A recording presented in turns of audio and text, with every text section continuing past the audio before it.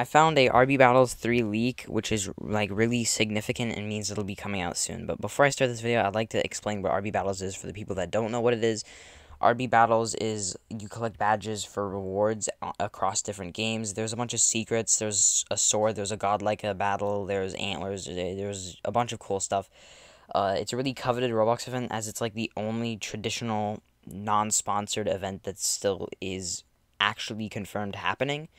Anyway, so I found this. This is Rolimons, and if you don't know what it is, it's just a site where you can see a lot of analytics and statistics.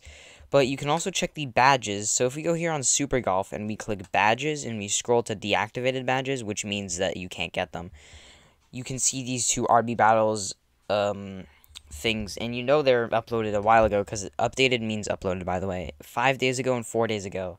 Not like it's not been a long time, and usually last time they made badges the game, the event actually came out like two weeks later, so it's probably very soon. Uh, but yeah. Also, I'm going to be live streaming this event and uploading the videos, so if you want to get the items faster than any Robloxian, make sure to like and subscribe. But anyway, here are my theories on this before I end this video. This obviously stands for RB Battles, but I think this will be the completion badge.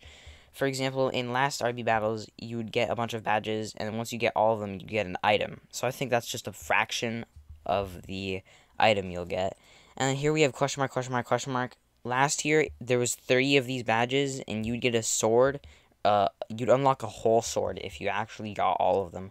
So I think this year it could be something different. For example, in the Metaverse Champions, we had like four pieces of a Valkyrie that made an actual Valkyrie. So who knows, maybe we're getting an RBB Valk. That would be pretty cool.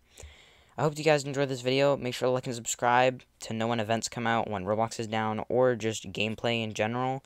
And I'll see you guys in the next time. Bye.